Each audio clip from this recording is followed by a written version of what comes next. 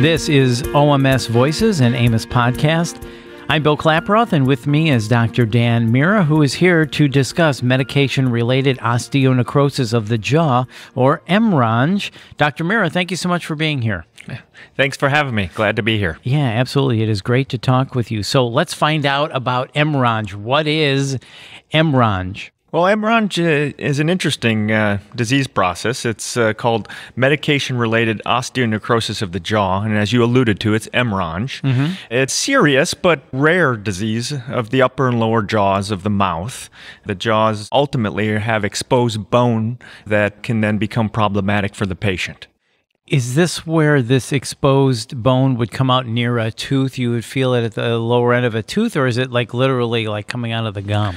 It could really occur anywhere. Okay. So the patients that don't have uh, any teeth at all mm-hmm. can still have exposed bone. Okay. Or it could be in an area where there is a tooth or where there were previously teeth, maybe after an extraction. We'll get into that potentially more, some of the risk okay. factors, but you can have it anywhere in, in, the mouth. Okay, so then how does MRONJ generally present? Are there symptoms or signs we should know of? Yeah, typically so. Now, I will say that some patients it may be asymptomatic and it might be something that their doctor picks up, the physician, or possibly, maybe even better, their dentist. Uh-huh. Things that they might notice, though, should certainly be pain, would be one. Okay. Maybe some swelling. Okay. They might visualize something that appears a little abnormal, such as the exposed bone. They could maybe all of a sudden find a loose tooth that was uh, previously not the case. Okay. So there's a hmm. variety of, of, of, symptoms that exist. You were mentioning uh, risk factors earlier. What are the risk factors for MRONJ? Typically, the patient has to have been exposed to a medication, hence the name medication related. Mm-hmm. So, certain types of medication put the patient at risk for developing it. So th- this medication is most often uh, recognized by individuals who have, say, osteoporosis or brittle bones.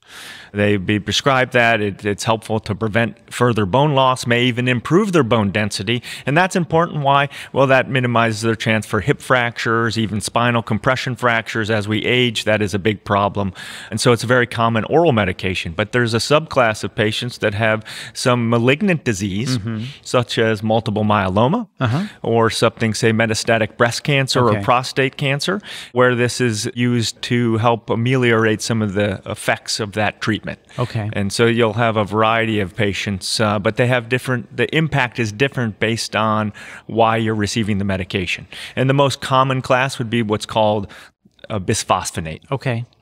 So, as someone is on medication to help them with osteoporosis, that helps build the bone up. That would increase the bone in the jaw and the mouth, and that's why you get this mm. protrusion of potential bone yeah. in the mouth. Well, it's interesting. It's somewhat counterintuitive. So, we're trying to maintain bone, but the difference between, say, long bones, hip, other bones, is that the jawbone has bone that's at the let's say gum level of the mouth mm-hmm. that's called alveolar bone and has okay. more turnover it has teeth in oh. it or oh. even if you don't have teeth the bone's turning over okay well how do these medications work they prevent bone turnover okay anti-resorptive that way if the bone doesn't turn over it can't be resorbed okay. if it's not resorbed you maintain your bone density okay well if you're not turning over in the mouth different environment, it can lend itself to developing bone that's not healthy. Okay. we would call necrotic bone, and that's when the, the you know the disease process becomes right. MRONJ. Okay, so for these people that are on these certain medications, what can be done to help prevent MRONJ? Well, I think it's important to note ahead of time is let the importance of these medications should be noted. They serve a purpose. So mm-hmm. I, I, don't want the impression to be that the, you know you want to avoid these. If you can prevent a hip fracture, which has significant morbidity, mm-hmm. that's worth it. We can treat the MRONJ. Right. It may be harder to treat the hip fracture. So I think that's something we need to start. Yeah, Two, if you have malignant disease, has to be you have to have that treatment. Mm-hmm. There, this is kind of a non-negotiable thing. So what do we do? We help you through it. Mm-hmm. And so, what are the, some of the thought processes? Is okay, there's a chance you're going to be on this medication if you're having a discussion with your physician or your oncologist. Let's have a plan ahead of time. Mm-hmm. So, one of the strategies is see your dentist, get a good evaluation, and anything that's concerning at the moment loose teeth, gum disease, teeth that need extraction, whatever it may be, needs to ideally, in a perfect world, be done before you initiate the medication. So then, if you find MRONJ in a patient, how do you treat it? You know, in the purest form from a clinician, there's a staging system that helps the clinician with how they're going to manage this disease process. Uh, in general terms, though, if the patient comes in, and they just have some vague symptoms, but no exposed bone, which is a possibility, mm-hmm. then they may be just uh, uh, seen under observation, or their their dental health or oral health may be optimized. That's step one. However, say they come in and all of a sudden they are having some pain, and they do notice exposed bone, then it depends on where they fall in that staging classification as to what's going to happen next. So, for instance, in stage one, they have exposed bone but they're mm-hmm. asymptomatic. Right.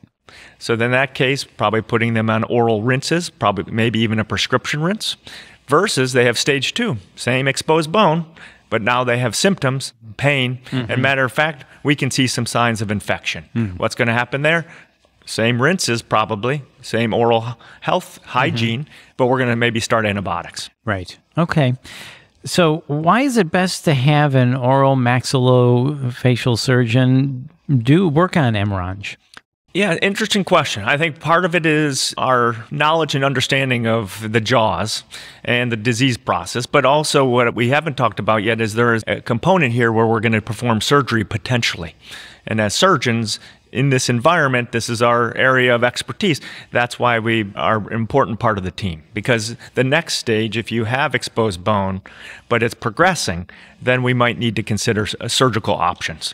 Right, absolutely. So this has been fascinating, Dr. Meara. As we wrap up, anything else you want to add about MRONJ? I think it's just something that we need to talk more about. Mm-hmm. Um, something that patients who have a sense about this need to talk to their doctors too about duration of treatment. Not so much for the IV medications, because those are usually cancer related, but mm-hmm. for the oral.